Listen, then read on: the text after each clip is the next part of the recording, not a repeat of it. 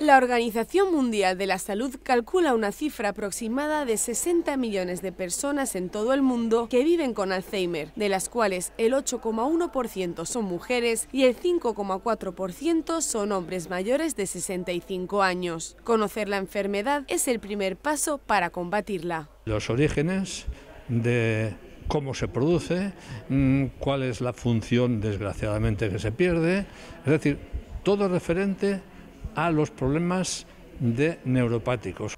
Con este motivo, el Colegio Oficial de Enfermería de Valencia ha organizado un taller sobre el Alzheimer. Y es que esta enfermedad a día de hoy solo se puede combatir con la prevención. En el mundo, solamente 8, en España hay 800.000, no te lo como de vista, de personas.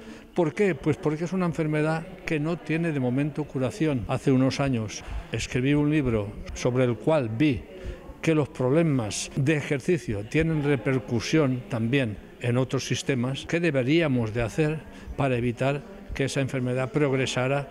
Curarse no se va a curar porque no tiene cura. Yo lo que digo es prevención del Alzheimer. Pero, ¿Cómo se puede prevenir el Alzheimer? Hemos de intentar no solo el Alzheimer, sino hacer una vida sana, evitar unas ciertas cosas para que esto no se produzca, para que no tengamos dentro de 10 años que decir, ay, si lo hubiera hecho. En concreto, hay una disciplina de la salud que podría ser especialmente beneficiosa. Sí que hay medios fisioterápicos que se pueden aplicar no solo a cualquier otro tipo de enfermedad que también, pero sobre todo a la que más nos compite en este momento es el Alzheimer. De momento toda prevención es poca para combatir una enfermedad tan destructiva como lo es el Alzheimer.